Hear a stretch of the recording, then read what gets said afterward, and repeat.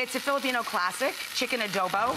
So you start with a big old Dutch oven and brown up two pieces of chicken per adult portion. Okay, so if you're entertaining six people, do 12 pieces. If you're entertaining four people or cooking dinner for four, you need eight pieces.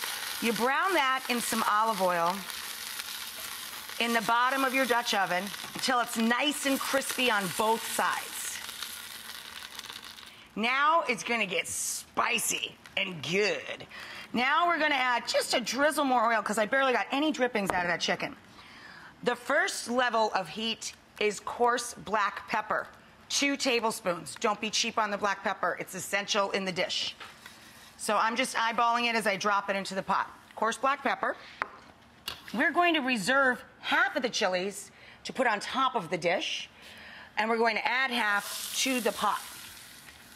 Couple of literally bulbs of crushed garlic. They're gonna get really sweet and mellow in the sauce. Lots of fresh bay. Fresh bay or laurel has a really floral, lovely aroma to it.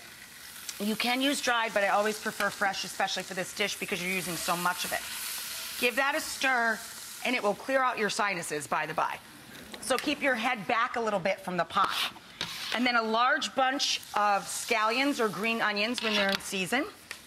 And we put the whites in the pot and reserve the tops or the greens for when the dish is done. Another reason to keep your head back from the pot. Now we're gonna add three quarters of a cup of vinegar.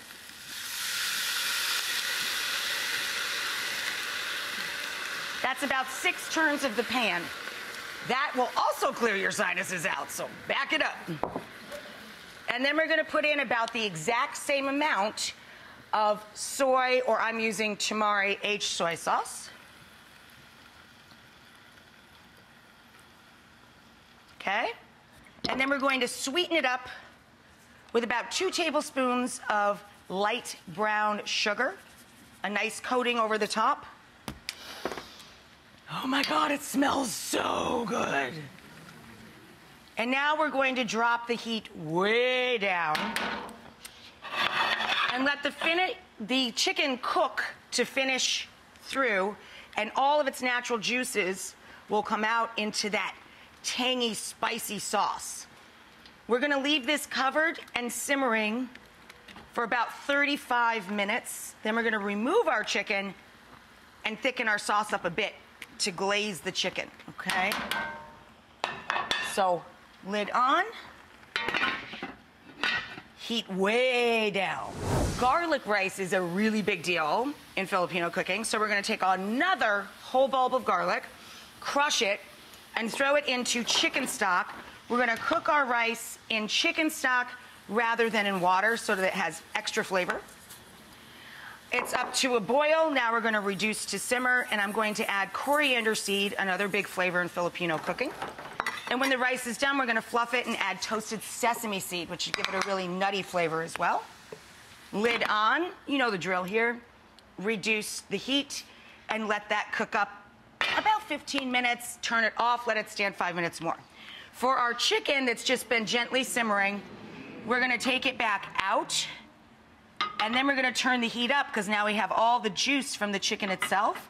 We're gonna thicken this up so it glazes our cooked chicken. I fished out the five fresh bay leaves from our adobo sauce for our chicken.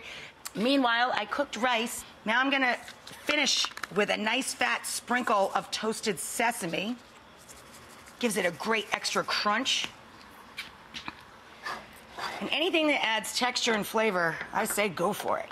So we've got toasted seed, sesame and coriander, lots of garlic, and pour that sauce down over our chicken.